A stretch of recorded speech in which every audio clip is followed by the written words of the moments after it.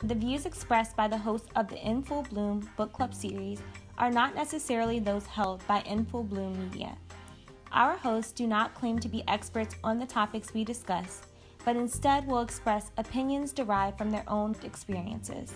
The In Full Blume Book Club is committed to exploring real issues that affect humanity.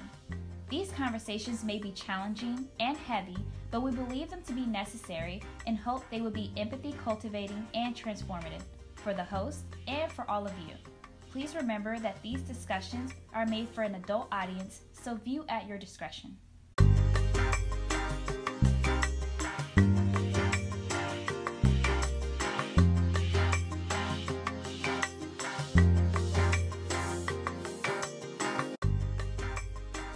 All right, guys, thank you so much for being here with us again. So this episode is a little different. We're doing we're going to introduce the second book of our season. It's Scorpionfish by Natalie Bakopoulos. Um, so we already have the synopsis. We're going to go ahead and read over that. Um, the description in the description box, you will have a link to the book, which you can go ahead and click on and purchase the book and follow along with us. So we're going to go ahead and read the synopsis now. The scorpion fish synopsis reads After the unexpected deaths of her parents, young academic Mira returns to her childhood home in Athens. On her first night back, she encounters a new neighbor, a longtime ship captain who has found himself, for the first time in years, no longer at sea. As one summer night tumbles into another, Mira and the captain's voices drift across the balconies of their apartments, disclosing details and stories of careers, of family, of love. Scorpionfish is a map of how and where we find our true selves. In the pool of the sea, the sway of late night music, I'm sorry, the sway of late night bar music, the risk and promise of art, and in the sparkling electric charge of endless possibility. Natalie Bakopoulos weaves a story of vulnerability, desire, and bittersweet truth, unraveling old ways of living, and in the end, creating something new. Our first question will be just general expectations for the book. So, what are some of the themes or ideas you think we may encounter in this novel? Some of your expectations um, for the novel. I will say I'm hesitant on this one. Okay. Um, not to immediately start it off on a negative Nancy th- part of this, but hey, I'll go. We appreciate your honesty. Yeah.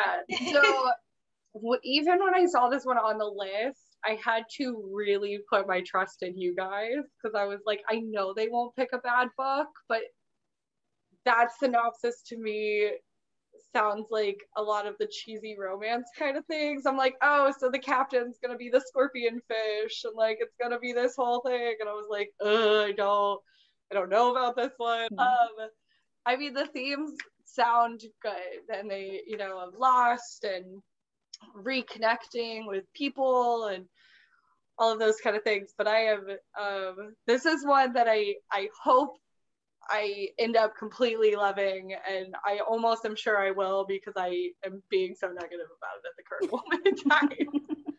Bridget, that's funny that you say that because I had um, a similar hesitancy. So I loved some of the themes that would be covered. I love exploration of like coming back to your childhood home and how that looks from you know the standpoint of your life now and yeah. um, exploring what this unexpected um, and devastating change means for your life all of that i was very excited about that and um, because this season is uh, focused in part on kind of our journeys through um, our early adulthood or young adulthood I was really excited for how we could explore. But I, I believe this was the book, Asia, and correct me if I'm wrong. I think this is the book that I was like, oh my gosh, I really love it, but I kind of wish the part where like she has this romance with this guy isn't in here um, because I don't know. Yeah, my my I had the same type of gut reaction where it was just like I guess I don't know. We're so used to novels being so I don't know. Sometimes it all, almost seems like there's such an exploration of a character that feels so meaningful and so unique and so real to people's lives. And then it seems like in movies for example sometimes it gets for me it gets a little dulled or overshadowed by the romance. Yeah this romance that seems like honestly sometimes you know I don't know, like maybe not super well thought out. I feel like that sounds really critical, but I don't know. It just seems like we had to put a romance in there to capture the audience's attention, and so we put a romance in there. You know, I I think love is a beautiful thing to explore and a worthwhile thing to explore as well. But I think that's funny because I had a similar um hesitancy. Well, I am honestly the other side of the coin. I'm very excited about this book, and maybe for those reasons, I am definitely a diehard romantic fan. I love things like that. I am very corny. So I'm okay with that. But however, I do I will agree. I don't want it to focus too much on like that romantic um um, relationship between the two characters. I just kind of I'm more interested in the fact that they're both kind of navigating this world of build rebuilding themselves after certain like it just seems like there's like a rebuild. Like she just lost her family and he's like back home from sea from you know from being out in sea for a long time and I just sure. kind of want to see that evolution rather than oh, they fall in love and they're yeah. happy together, you know? So that's where I'm at. Yeah. I think we're definitely going to see some themes about pain and loss. And I think we're going to see some things about maybe being beautiful on the outside, but having this kind of like poisonous, maybe deadly inside playing on, on the title of the book a little. Yeah. so I agree. I definitely think obviously pain and loss is going to be, I imagine that would be a major part of this narrative. And I think it's, uh, fitting for just you know all the pain and loss. Obviously she they're well no it's it's fitting for all the pain and loss that we've experienced in, over 2020 and so um you know in some in some pretty difficult ways it may uh, resonate with us with us in yeah. some way and with our audience in some way. Um, but hopefully some ways that will um, connect us to the pain that the world is experiencing in a way that um, is maybe cathartic or healing or um, that provides us a path, an avenue, a motivation to um, be of service. So that's my hope. Um, our second question, any predictions about the relevancy of the title Scorpionfish to the novel, to the narrative? I'm sure that there will be. I think that you could make the assumption based off the synopsis that there's this like I said before, there's this idea about being beautiful on the outside, but maybe having some type of turmoil or treacherous on the inside. So I do think that there's probably going to be a connection. Okay. It's in Greece. That's an island that's very much known for like fishing and, and right. things that are not fishing and things like that. That sounds silly, but um, it, it, I think it plays into the environment of kind of where the setting is. For sure. Yeah. What is a scorpion fish? It's like you know, you know, like a lionfish. Have you ever seen a lionfish? It's it's the ones that are red and white, and they have all like the fanned out extremities. Oh, okay. Okay. A scorpion fish is like that, but it doesn't have all the extremities. It's just okay. kind of like the body. It's okay. also poisonous, but there's several different species of poisonous scorpion fish. Ah, okay. So yeah, given that um, new understanding, I see what you're saying in regard to um, the outside kind of being beautiful, but got you, got you, got you, got you. Mm-hmm. Yeah, okay. but I, I agree with you, Joshua. It definitely seems like it's going to play in somehow with that. And I think anytime you have a theme where like you're exploring new love, but there's obviously a lot of hurt from past love, like they, you know, even just in the synopsis, it talks about the two a friend and an ex-lover that she was in love with you know so i think anytime you have those kind of themes you kind of get into the area of like why the relationships failed on their part why it failed on her part and you know you you start getting into that territory of where everybody's toxic traits are as well mm. Mm.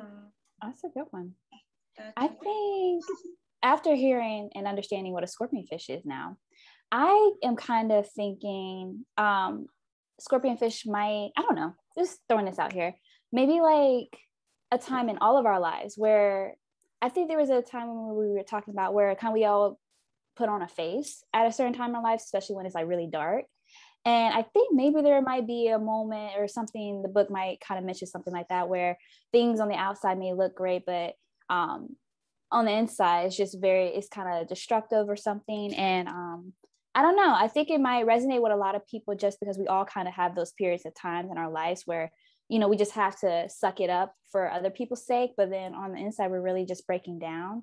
So I don't know. I think it might be one of those things that kind of connects all of our different experiences with that. So, all right, guys. So, our third question How important are relationships in your personal narrative? How much have acquisitions, loss, and change of relationships played a role in your life?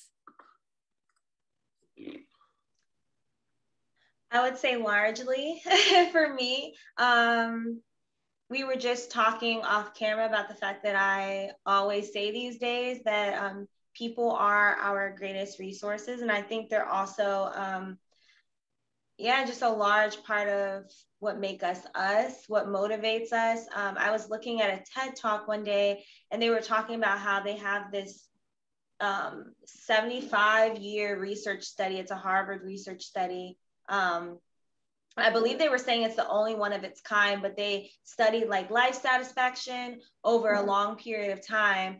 Um, and the best indicator of, I believe, if I am recalling correctly, of both longevity and of life satisfaction in um, older age was good relationships. And so I think I would imagine as you know social creatures, it's a large part of our personal narratives. We're all in a relationship with something. Yeah. Uh, every component of our life is a relationship with something, right? Uh, we have a relationship with work. We have a relationship with food. We have a relationship with our mental health. I think everything is a relationship. So I don't think that we can exist, at, Tia, as you mentioned, kind of like as a species without the relationship part. I don't think that we are able to be disconnected from each other. I don't, I don't think that we have that option. And mm-hmm. so I would imagine that there's going to be a heavy emphasis about relationships in this book, but I think that it is going to be that I think that's why we're all going to be able to see ourselves represented in the text and with the narrative because it's going to speak to some part of our relationship identity in a different way. Mm-hmm. Absolutely. I agree wholeheartedly with you, Joshua um yeah like you said we have a relationship with any and everything that's in our lives. And i mean just look at it's evident in just how we can respond we respond to certain things. Like again the type of treatment we get from our family and how we treat other people and the time that it takes you know the time we put in certain things. I immediately thought about our recent loss with our um, family pet and how that had like a huge you know emotional impact. And it surprised me even just because you know we aren't we weren't as close in our later in our adult years to our family pet but just knowing that she meant that much to us that's just evident you know we attach ourselves to a lot of different things in our lives and it's important. Um, so i'm really interested to see um, kind of the characters how they dive into relationships and kind of how they manage it because i mean honestly there's no rule book on how to manage relationships at all so we're all trying to figure it out. Yeah. Well, let me just say sorry let, let me just say first that i'm so sorry to hear that about your guys's childhood pet. That is that is a hard loss. Yeah. Thank you. I appreciate that. Um for me uh, the connections I had to relationships is a very um, difficult thing. I definitely fall into a nihilist every once in a while. I have my nihilistic periods, and I, during those periods, find myself like questioning how much those relationships should mean and you know, when I tell my life story, half of it involves whatever relationship came in and went and how bad they are and how good they were, even. But uh, I, I struggle with why that has so much meaning and why that should have so much impact on my life and whether it's a friend or it's family or it's you know exes like I, I, really struggle with how a single person can have so much impact into my life and have so much um, power is really how I end up looking at it. And so this is going to be an interesting one for me because I I really struggle with giving that power to relationships and I always want to pull it back. I always want to re- conserve it and keep more of it for myself than for the relationship tie. So I, I'm curious to see how this one I end up connecting to because mm-hmm. there's a solid chance I might throw it over the balcony in like a rage fit. like, we'll see. I can really relate to that, Bridget. Um, I also I have a certain sense of fear of rejection and relationships have been very hard for me. I'm a very sensitive soul. and, um, and so I feel like I have open wounds everywhere, you know, and so I'm, you know, easily uh, triggered um, by a lot of things. And so obviously, you know, I, I get into a lot of fits of resentment with people. And so for that reason, I have a certain sense of emotional detachment sometimes as a way of protecting myself. So I really resonate with that experience of also, you know, almost devaluing relationships as a way of protecting myself and telling myself like I don't need them. I was diagnosed with borderline personality disorder, which um, one of the major factors, like it greatly impacts how you interact in relationships. Um, and a major part of that is idealizing people, idolizing people, um, as well as devaluing people, and um, being in this place of insecurity in relationships. And so, um, for sure, it's it's been a difficult road with relationships, and I've been in those spaces where you know so I, i'm always like pulled in two completely different direction because sometimes I feel like a lone wolf, like who just needs to go out and you know find myself and leave everyone else behind. Um, and other times I feel like I need to, I literally want to kind of have like a compound with other people. Uh, so I, I'm constantly fighting those two, those two. So you're pulled between cult and hermit. like, one of the two you're gonna Pretty much. Story of my life, walking contradiction. So our fourth question what biases or assumptions can you recognize that you have regarding the novel? Bridget. yeah, yeah. All right. Um, so I read a lot of Nicholas Sparks as a kid, like a lot, like okay. an unhealthy amount. Um, so I think I immediately, anytime I see anything with too much of a romance plot in the synopsis, I just assume the whole thing is Nicholas Sparks, and I'm like, crap, I'm gonna have to dredge through this. And he's great. He's a great writer. Again, no hate to anybody. But um yeah, I just I I stay so far away from romance books for the most part and like like we've said, the romance subplot is usually the least interesting part of the book to me. Mm-hmm. Um, which is funny because when I tell my life story, I'm like, hi, here's all these romances I went through. Look how fun that is. um, so my bias is pretty heavy. I, I'm trying to go into it with an open mind, but obviously I am not. So yeah, there's that big one right there. Well, acceptance and admittance is the I'm first step. at least, yeah, that's that's pretty good for me. I was gonna say honestly, for me, even in my personal life, my relationship has been such a magnifier. um, um, it's been like a magnifying glass on different different personality traits, right? Different insecurities. And so I honestly think relationships in general are a great way to explore the internal makings of someone um, to societal dynamics to social issues. I think it can be a great opportunity to explore that. I think you and I uh, probably have both felt uh, disappointed or a little underwhelmed by just the to me the lack of depth in yeah. some you know romance novels or romantic comedies and film. And so um, maybe that's kind of where those those biases come from. I, did you have I don't have any preconceived con, uh, assumptions about it or anything. Yeah. I am eager to see how it turns out. I think we all have made the kind of the same comment about every thing that might be in the book. And now I'm starting to think we might see it be the exact opposite.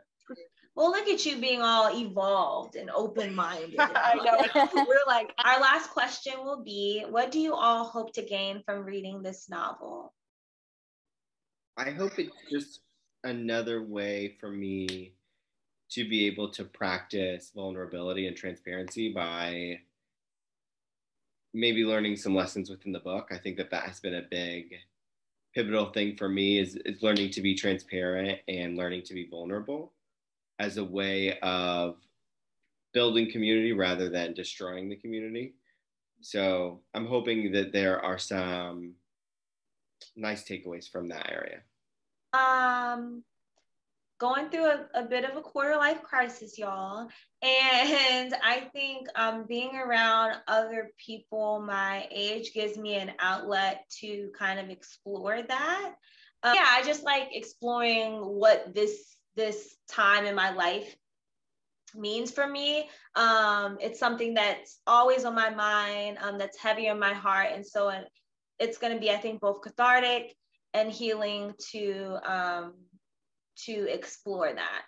I guess because I tend to have such like negative views towards like the importance of relationships, I'm kind of hoping to feel a more positive direction towards that because it is so important. And I think that importance gives me a lot of anxiety because I feel like if I'm not constantly surrounding myself by people who create like genuine connection, then I feel like I'm not properly living life. And I'm kind of naturally an introvert. I I enjoy talking and I enjoy like conversation, but I have a really hard time with people who don't match my energy. And and I don't just mean that in like I'm super pumped and blah blah blah blah blah, but like in the like our energies don't connect and it don't doesn't match properly. And that's something I've experienced my entire life. So it's given me a lot of anxiety towards personal connections in general because I feel like I am doing something wrong and that is why my energy doesn't match with people in the way that. I mm. want it to. So it, it's I, I'm hoping that this helps me view it in a more positive way and look at the connections I do have as something that can be more that, that it's okay that it's not always permanent, but that sometimes it is permanent and that's also okay. And I first wish that for all of you with reading this book. Um, Thank you. And I think a little bit of everything everybody's been saying, I kind of also wishing that.